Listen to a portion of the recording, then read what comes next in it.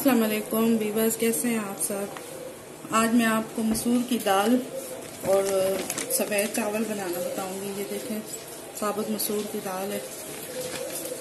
बहुत ही आसान और जल्दी पकने वाली।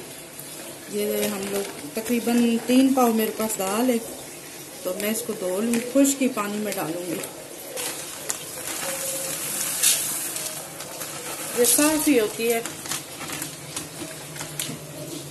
ये मैं अच्छी तरह धो लूँ इसके अंदर पानी डाल लूँ, फिर मैं आपसे मिलती हूँ। मसाले, ये तकरीबन डेढ़ चम्मच नमक का है और ये डेढ़ चम्मच लाल मिर्च पीसी हुई और ये एक चम्मच हल्दी का है और ये डेढ़ चम्मच सूखा धनिया।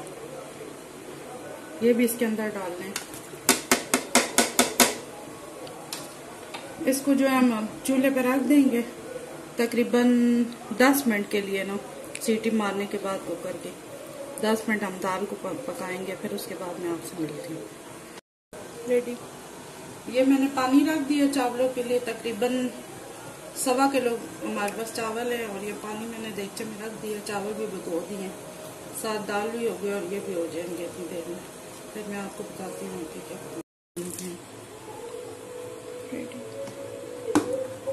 जी बस इसको मैंने 10 मिनट पकाया और ये देखिए इस तरह इसकी शक्ल आ गई है।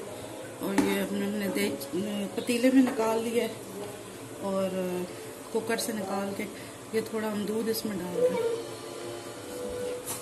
ये एक कप तकरीबन हमारे पास दूध है, मलाई भी इसके अंदर, ये भी साथ डाल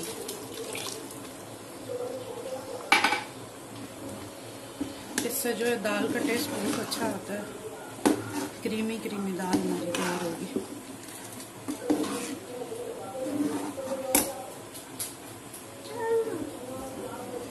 अदरक, लहसुन और हरी मिर्चें को चॉप कर लिया बारीक, और ये साबुत हरी मिर्चें कुछ लिए। ऑयल डाल दिया, तकरीबन डेढ़ कप ऑयल का। इसको भी हम साथ रख देंगे।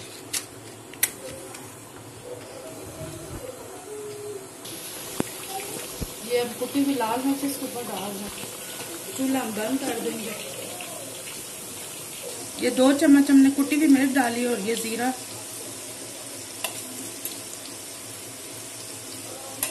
चुका है इस पर ब्राउन हो चुका है लहसुन ये देखिए, हमारी मज़ेदार दाल तैयार हो चुकी है। चावल भी हमारे उबाल हो चुके हैं मैं उनको दम देती हूँ।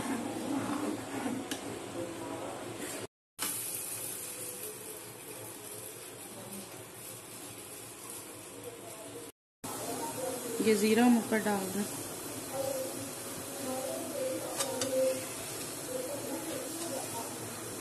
ये ऑयल डाल रहे